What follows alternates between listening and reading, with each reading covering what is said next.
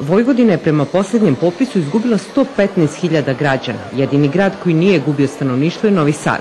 To govori da je Vojvodina jednako centralizovana kao republika, rekao je lider Ujedinjenih regiona Srbije Mlađan Dinkić. Prema njegovim rečima, decentralizacija u državi se mora izvesti do kraja, a najvažniji zadatak je da novac koji sad ostaje u lokalnim samupravama ode na prave projekte. Dinkić je izjavio da je Vojvodini neophodan zakon koji će da reguliše način finansiranja pokrajine. Ko je ozbiljno tražio da se taj zakon donese? Oni koji imaju apsolutnu većinu u pokrajinskom parlamentu se plaše da kažu nešto ovima u Beogradu. Nećemo bre takve ljude. Mi smo ovde jer hoćemo da pokrajinska administracija ne bude plašljiva prema Beogradu, nego da se izbori za ono što svi regioni u svetu i Evropi imaju. A to je novac, imovina i nadležnosti.